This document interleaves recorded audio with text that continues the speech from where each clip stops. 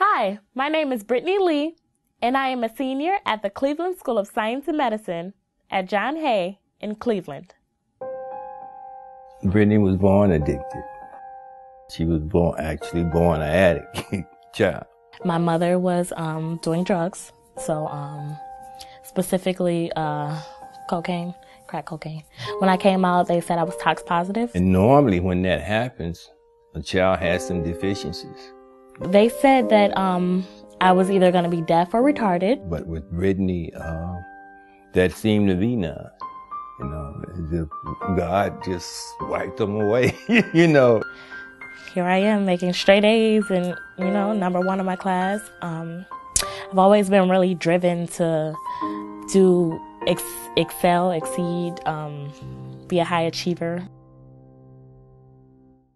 I live with my grandmother, like full time, so I saw my grandmother every day. Um, my mom would come around for like holidays and stuff. Her mother was always gone most of the time, and her grandmother uh, bore the burden of, you know, of raising her, providing everything for her. My grandmother had like a little buggy cart, and we'd walk up to the food bank, the pantry they had, um, and we get like different canned goods and like beans and macaroni. We never really had to worry about like eating or anything. And even though she didn't have a lot of money, she um, she didn't really let it show.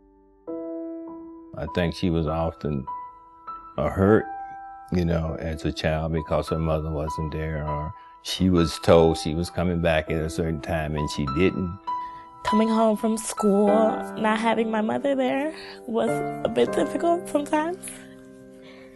Because, I mean, I, I always loved her. She's my mom, you know? Britiny would cry if, if she couldn't go to school. She loved school. First grade, kindergarten, like, since I can remember, I've always loved school. I don't, I mean, I like a challenge. I like to learn new things. She always brought good grades in, and we always praised her. We just praised her, and uh, she would come back and do better than before. When my teachers start like putting smiley faces and stars on my papers and everything saying good job, like I felt that if they have an education and they are teachers and they think I'm smart, I must be smart. My grandmother, um, she got diagnosed with lupus at the age of 35.